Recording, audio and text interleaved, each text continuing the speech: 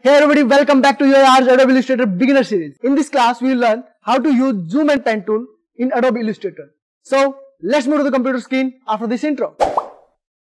There are multiple ways to use zoom and pan tool. So first of all, let's talk about zoom tool. The zoom tool is available on the toolbar. You can click here or just press Z button on the keyboard.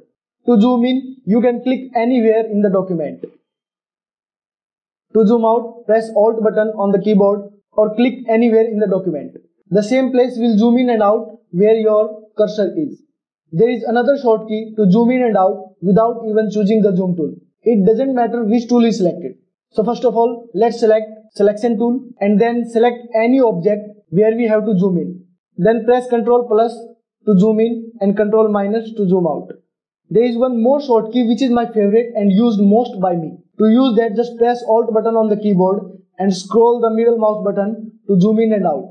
The good thing is that we need not shift to any other tool, stay on the same tool which is already selected. You can also zoom in and out from view menu, but fastest way is zooming with alt plus scroll button. Similarly, you can use hand tool or pan tool from here or just press H button on the keyboard.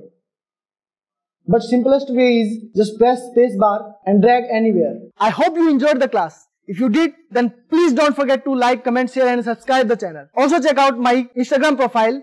Link is given in the description. In next video, we will learn how to save and export in Adobe Illustrator. So, see you in the next video.